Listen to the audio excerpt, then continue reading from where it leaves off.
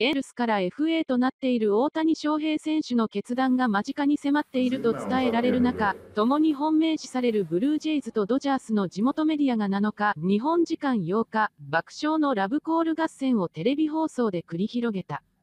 ブルージェイズの地元放送局シティのシドシーザイロ司会者は、大谷翔平よ、君が毎日テレビをチェックしているのは分かっている。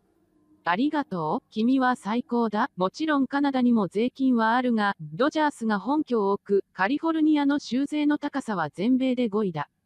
ロサンゼルスの交通量は世界でも最悪だ。ドジャースタジアムは自宅から10キロでも、たどり着くには8時間かかる。カナダは寒いというが、この間カリフォルニアは雪が降ったそうだ。しかも、大地震がいつ来てもおかしくないという。さらに、ソーダ、ワールドシリーズ、優勝リングだが、1992年以降、世界一になった回数が多いのはブルージェイズとドジャースのどっちか。答えを聞きたいか？ブルージュージェイズの2度だ。その間ドジャースは1度。そして、ブルージェイズに来れば国家を2度聞けるぞ。米国国家に加え、もっといい国家をだ。つまり、我々のカナダ国家をね。ブルージェイズは大リーグで唯一カナダに本拠を置くチームのため、試合前はカナダと米国の両国歌が演奏される。最後は、大谷翔平よ、愛している。プライバシーと勝利、ドーム球場、本拠地ロジャーズセンターのコントロールされた環境、そして聞いた話によれば6億ドル、約864億円。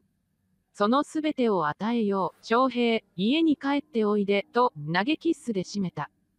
このラブコールは、ドジャースなどで活躍した解説者のジェリー・ヘアストンが放送局スポーツネットワークの番組でドジャースを強力にプッシュしたことに対抗したもの。メジャー通算16年間で9球団を渡り歩いたヘアストンは、私は多くのチームでプレーした。エンゼルスは美しい球団だ。だが、トミー・ラソーダ、元ドジャース監督はこう言った。もし本物のエンゼルスの一員になりたければ、ドジャーブルーのユニフォームに袖を通し、ドジャースタジアムでプレーしなければならない、とね。両軍は同じカリフォルニア州に本拠を置き、ホーム球場は約50キロしか離れていない。また、候補だというブルージェイズも素晴らしい球団だが、国家を2つ聞く必要はないだろう。6億ドルももらえば、税金もすごい。しかも、カナダは寒いぞ。ドジャースならば、今の自宅から引っ越す必要もない。毎年ポストシーズンでプレーでき、ワールドシリーズ優勝リングも複数ゲットできるチャンスがある。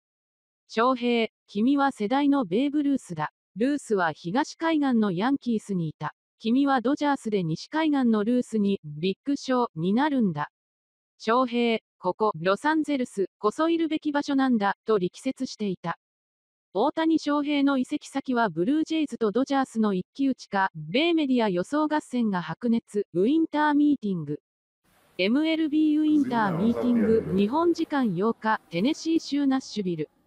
MLB ウィンターミーティングは7日、日本時間8日、最終日を迎えた。現場での大きな動きはなかったものの、米メディアはエンゼルスから FA となった大谷翔平投手29の新たな契約先について、ドジャースかブルージェイズのどちらかを予想する声が相次いだ。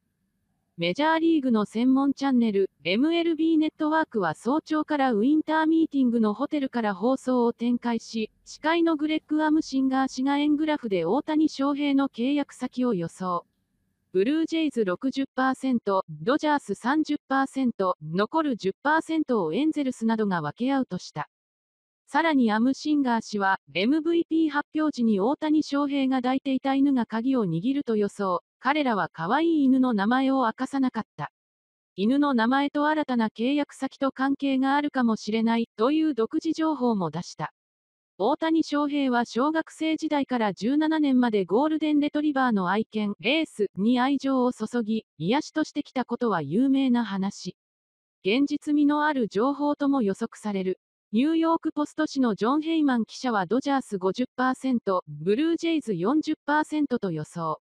元メッツ GM のスティーブ・フィリップス氏は部軍の親会社、ロジャースコミュニケーションがテレビ放映などのコミュニケーション事業を展開していることから、トロントに行けばカナダ、アメリカを大谷翔平は手中にできると持論を展開し、ブルージェイズ55%、ドジャース？45%と予想した。